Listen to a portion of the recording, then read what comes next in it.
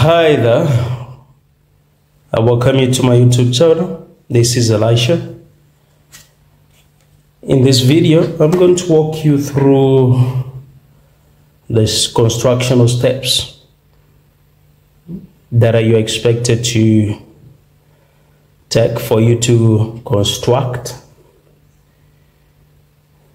the triangle that was expected of the external candidates grade 9s in 2023 to construct.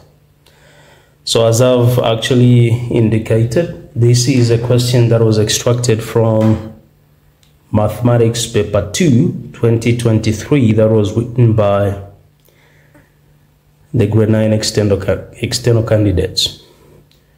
So I'm going to do the construction right from this paper. So construction is all about following the instructions that you're given. So that's saying use geometrical instruments to, con to construct triangle PQR. So the triangle will have those vertices P, Q, and R. In which PQ take the first line as the baseline. So they're saying PQ, this one here, PQ is equal to 4 centimeters. So we pick 4 centimeters from 0 to 4.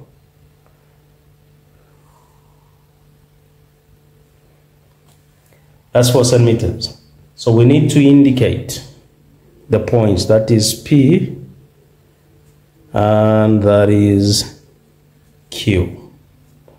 Okay, so now from there we have to read on QR is equal to 5 centimeters. So from Q to R, we don't even know where R will be we just have to pick the dimension now don't get a rule and just do like that what you do is you get a rule then you also get your pair of compasses then pick the dimension that's uh, QRI is equal to 5 centimeters plant your pair of compasses especially the sharp part on zero and then extend the other part where the pencil is to 5 centimeters.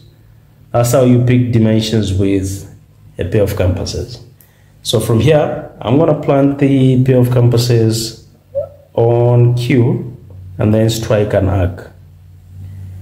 This is a constructional line, so it mustn't be bold. It has to be faint. So from here, we can now move on to here. They're saying PQR is equal to 120. So if you look at this, when you're given three letters, just know that they want you to pick an angle which is a amid of the three. So angle Q. Where is angle Q? Angle Q is here. So when you are picking an angle on your right, what you do is you align your, your protractor like that. So this line here has to be in line with the baseline then the, this this vertical line has to be in line with the point here okay so beautiful.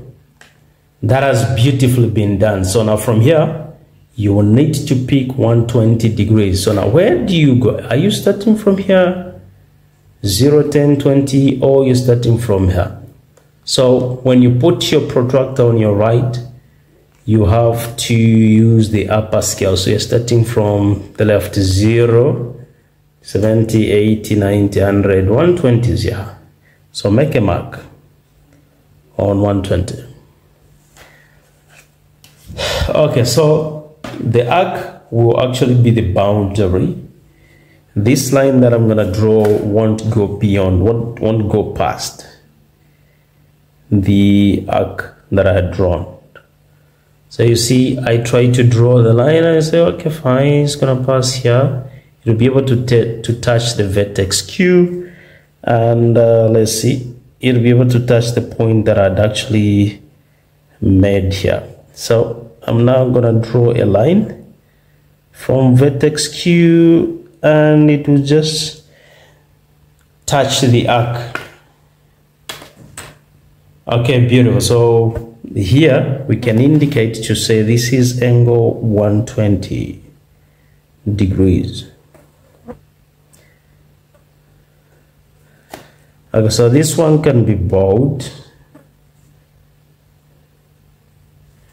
this is 120 degrees. Now always ensure that your pencil is well sharpened. You see that I didn't sharpen my pencil pretty well. You have to make sure that your pencil is well sharpened.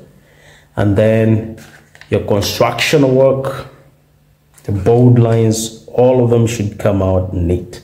So now we can complete, we can complete our triangle. Make sure you give it a shot to see if the line will touch the vertices.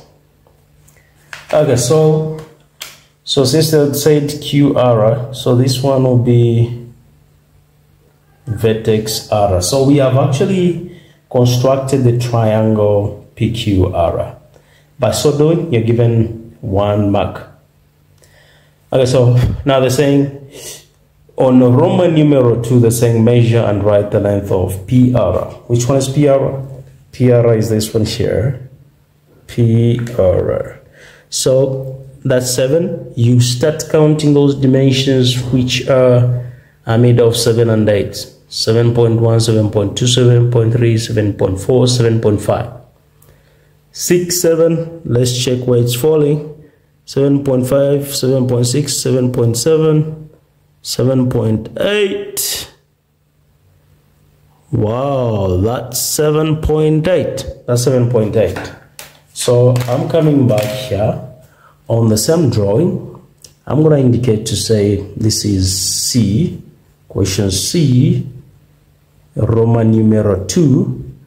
And then I'm going to show what I I had just uh, measured. So it's a PR is equal to 7.8 centimeters. So that was been that one has been answered. Let's move on to three. They're saying bisect the sides PQ, PQ, and QR. Bisect side PQ and QR. So when they say bisect, they're saying divide those lines into two equal parts. So now how do you bisect? Now to bisect, you simply plant your the sharp part of the pair of compasses there, then extend it beyond half.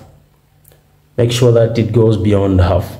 Uh, you may be like, how do you tell this is half? You can actually tell by looking at the diagram. Half could be here. So now I'm going to extend the pair of compasses beyond half and then strike an arc. Take a look at this. Then another arc. After striking those two arcs, what I'll do is I'll shift the pair of compasses without changing the dimensions. Plant it on the other end, strike an arc just to ensure that they touch. And the intersection points, that's where the line will actually pass. So grade 9 work mostly, they, they, they don't tell you, say, within the triangle. There's no condition. So you can draw the line and end it anywhere you feel like. So we have actually bisected line PQ. But that said, we have to bisect even QR, right? We have to bisect QR. So QR is this one, QR. Make sure you extend your pair of compasses beyond half. This is the part which is so challenging to grade 9s. Not, not only grade 9s, grade 12s as well. Strike another, the, the whole essence of you know, shifting the pair of compasses is to make sure that we draw arcs that will meet. We don't have to complete them. Our interest is to see where they're going to meet from. So I've actually drawn, I've actually constructed the arcs. Then from here, I can now make sure that I draw a line passing through the intersection points of those two arcs. So now they're saying with, are we done? For, just for doing so, we, we acquired two marks. And they're saying label the point of intersection of the two bisectors. So this line is actually the perpendicular bisector of QR.